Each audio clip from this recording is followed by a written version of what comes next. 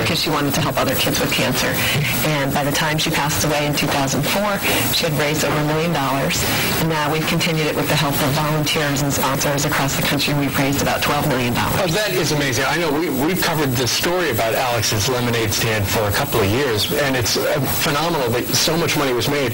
And now, through the kindness of the folks at Rita's uh, Italian Ice, through the end of July, I understand these little paper lemons are going to be available. And what are folks going to do with these? Yeah, it's just a way to, you know, uh, help fight childhood cancer a dollar at a time. Last year, Rita sold over 500,000 of these paper lemons. Wow. And this year, they're trying to sell 750,000 of them to help fight childhood cancer. That would be phenomenal. I mean, obviously, what you two went through as parents is the continuation of this progress. I mean, is this is this something the project? I mean, is it something that helps you deal with the loss of your child?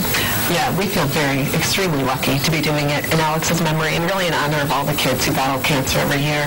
We're now funding over 45 projects at hospitals across the country and helping kids who have cancer right now. So that other families don't have to go through what we went through with Alex. Is your website still open?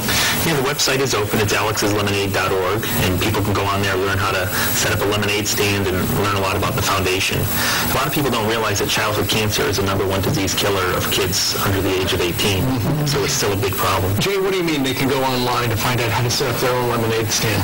Uh, this year, we'll have over 5,000 groups setting up lemonade stands across the country, uh, over 50,000 Do volunteers. they actually sell lemonade? Kids can do this Anyone, if they want anyone to. can do it, and that's, I think, what the simple success has been. Anyone, anytime can set up a lemonade stand to raise money, and we help them out with, with a sign and some advice, and then they send the money into the foundation, and we give it out for childhood cancer research. It's really a great activity for kids. Absolutely. So take a note. There's the address right there at the bottom of the screen, alexslemonade.org. alexslemonade.org. Or you can go to foxandfriends.com. We'll have information a little later on in the day. Mm-hmm. Liz and Jay Scott, thank you very much. Mm-hmm. And great work. Thank you. Thank you. Really